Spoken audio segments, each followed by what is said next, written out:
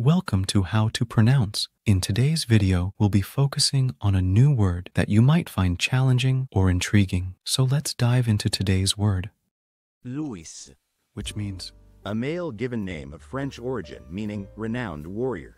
let's say it all together. Louis, Louis, Louis, One more time.